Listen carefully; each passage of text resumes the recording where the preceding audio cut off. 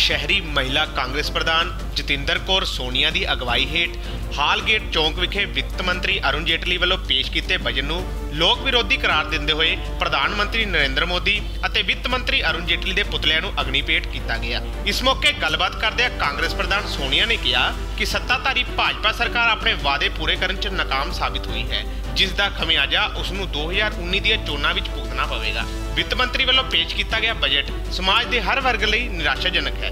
ਆਮ ਜਨਤਾ ਨੂੰ ਕਿਤੇ ਵੀ ਕੋਈ ਰਾਹਤ ਮਿਲਦੀ ਨਜ਼ਰ ਨਹੀਂ ਆ ਰਹੀ ਹੈ। ਪੈਟਰੋਲ ਦੇ ਨਾਮ ਤੇ ਵੀ ਸਰਕਾਰ ਦੀ ਅੰਧਾਧੁੰਦ ਲੁੱਟ ਜਾਰੀ ਹੈ। ਜਿਸ ਨੂੰ ਜੀਐਸਟੀ ਦੇ ਦਾਇਰੇ 'ਚ ਲੈ ਕੇ ਆਉਣ ਦਾ ਸਰਕਾਰ ਵੱਲੋਂ ਕੋਈ ਉਪਰਾਲਾ ਨਹੀਂ ਕੀਤਾ ਗਿਆ। ਇਹ ਬਜਟ 2019 ਵਿੱਚ ਮੋਦੀ ਸਰਕਾਰ ਨੂੰ ਚੱਲਦਾ ਕਰਨ ਦੇ ਲਈ ਸਹੀ ਸਾਬਿਤ ਹੋਵੇਗਾ।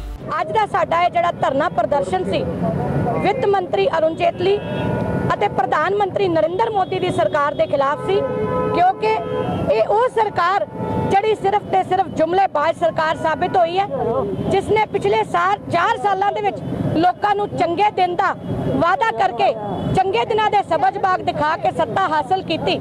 ਲੋਕਾਂ ਨੂੰ ਬੜੀ ਇਹ ਉਮੀਦ ਸੀ ਕਿ ਜਿਹੜਾ ਇਹ ਇਹਨਾਂ ਦਾ ਆਖਰੀ ਬਜਟ ਹੈ, ਸ਼ਾਇਦ ਕੁਝ ਰਾਹਤ ਦੇਵੇ।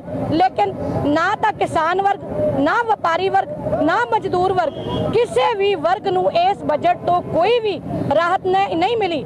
ਸਮੂਹ ਜਿਹੜਾ ਵਰਗ ਹੈ, ਸਾਰਾ ਵਰਗ ਜਿਹੜਾ ਉਹ ਇਸ ਬਜਟ ਤੋਂ ਨਿਰਾਸ਼ ਹੈ, ਦੁਖੀ ਹੈ। ਕਿਉਂਕਿ ਇਹ ਸਰਕਾਰ ਜਿਨ੍ਹਾਂ ਨੇ ਸਿਰਫ ਲੋਕਾਂ ਨੂੰ ਸਬਜ ਬਾਗ ਦਿਖਾਏ ਹੈ ਕਿ ਤੁਹਾਡੇ ਅੱਛੇ ਦਿਨ ਆਉਣਗੇ, ਅੱਛੇ ਦਿਨ ਆਉਣਗੇ ਮੇਰਾ ਖਿਆਲ ਹੈ ਕਿ ਸਭ ਤੋਂ ਨਖਿੱਧ ਸਰਕਾਰ ਜਿਹੜੀ ਇਹ ਸਾਬਿਤ ਹੋਈ ਹੈ ਲੋਕਾਂ ਨੂੰ ਅਸਲ ਮੁੱਦਿਆਂ ਤੋਂ ਪਟਕਾ ਕੇ ਚੰਗੇ ਦਿਨਾਂ ਦੇ ਸਬਜ ਬਾਗ ਦਿਖਾਉਣ ਵਾਲੀ ਇਹ ਜੁਮਲੇਬਾਜ਼ ਸਰਕਾਰ ਜਿਹਦਾ ਪਤਨ ਜਿਹੜਾ ਉਹ ਸ਼ੁਰੂ ਹੋ ਚੁੱਕਿਆ।